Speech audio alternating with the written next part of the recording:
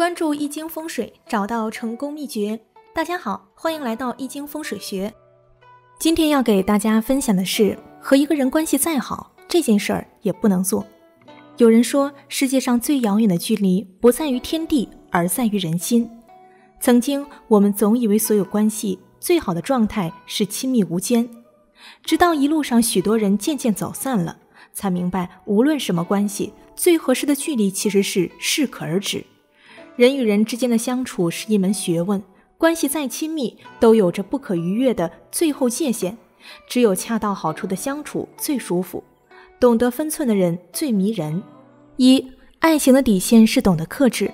我是演说家中主持人寇乃馨分享过一件事儿，有次她和老公黄国伦吵架，情绪失控，狠狠骂道：“你一个离过婚的二手货，凭哪一点配得上我呢？”黄国伦听后，默默地收拾好行李，留下一句：“有些话是不能随便说出口的。”就走了。接下来的几天，寇乃馨怎么都找不到他。慌乱中，他才意识到自己一时的口舌之快，给黄国伦造成了巨大的伤害。语言虽然是无形的，但是力量却是惊人的。一句话可以让冰冷的心重燃希望，也可以让温热的心坠入冰窖。生活中有很多人打着有恃无恐的旗号，把最好的一面给了外人，最坏的态度给了爱人，长此以往，打破了人与人相处的之间的平衡，最终不欢而散。工作中认识一个女孩小蕊，性格随和，脸上总是挂着淡淡的甜甜的笑。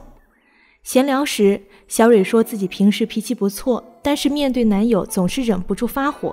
两个人吵起架来，经常是一发而不可收拾，互戳对方的痛处。三番五次下来，好不容易经营的感情几乎被消磨殆尽。小蕊抱怨说：“到底他根本不爱我。”其实，越亲密的关系越要懂得克制。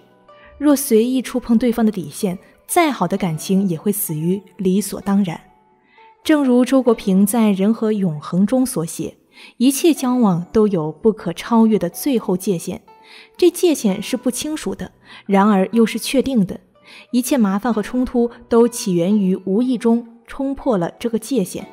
只有确定界限，彼此尊重，一段感情才能持久温暖。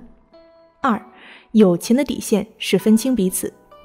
古话说：“使人有乍交之欢，不若使其无久处之厌。”好的友情也需要守住底线。在喧嚣浮华的娱乐圈。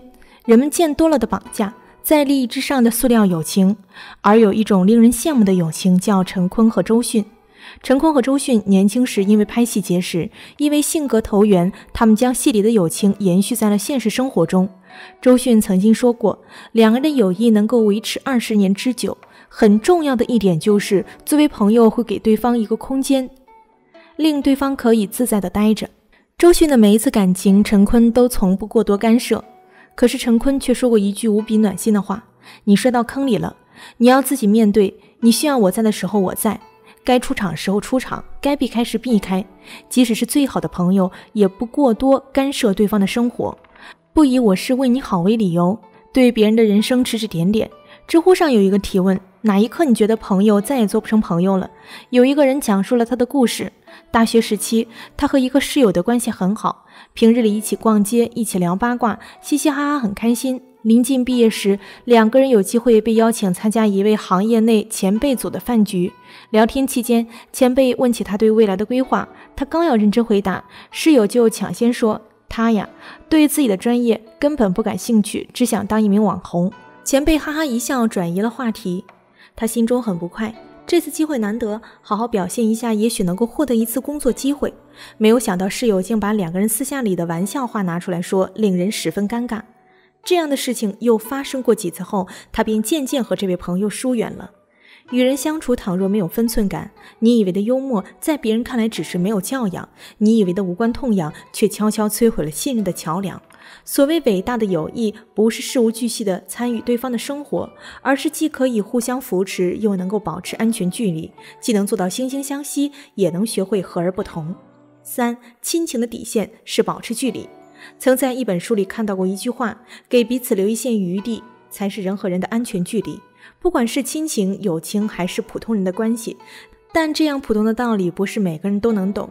之前王宝强和哥哥的关系成了网上被热议的话题。有媒体报道，明星王宝强的亲哥哥竟然在村口摆摊卖饼。很多网友看到消息留言：“王宝强已经是一线明星了，为什么还让哥哥摆摊儿？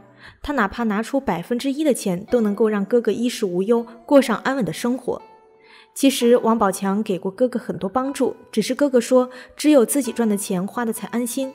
成年人之间最好的关系是保持距离，唯有各自安好，方能岁月静好。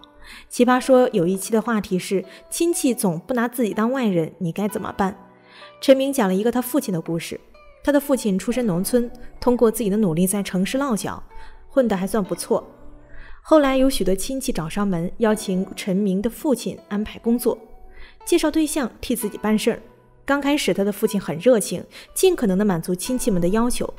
后来他发现找自己的亲戚越来越多，如果解决不了问题，他们就会在背后恶毒的说坏话。有一次，陈明的父亲忍无可忍，终于在酒后向亲戚们发飙了。此后，父亲发现，虽然找他办事的人少了，亲戚和他们家的关系反而更好了。水满则溢，月盈则亏，人和人的交往亦是如此。那些长久的关系都自带分寸感，就像寒夜里的刺猬，离得太远，冷得难以忍受；靠得太近，又会满身伤痕。唯有找到一个合适的距离，才能舒服的相处。四，最舒服的关系是熟不逾矩。很喜欢毕淑敏的一段话。要学会和我们的父母亲密无间，倾听而不唯命是从；和我们所爱的人唇齿相依，紧密而不混淆；和我们的孩子亦师亦友，慈爱而不包办；和我们的朋友相知而不逾界。人性的奇妙在于，每个人都离不开亲密关系的相处。可是，在生活中的多重角色转换与关系中，我们又要学会掌握相处中的分寸。无论是恋人、朋友还是亲人，只要不打破相处中的舒适距离，才能够让关系变得愈加亲密。愿我们每个人都能够做到心中有尺，口中有度，守住底线，进退自如。本期节目就分享到这儿了。如果您觉得这个影片不错的话，请给我们点赞转发，同时在影片下方留言告诉我们您的看法。还没有订阅我们的朋友，一定要记得订阅。我们下期不见不散。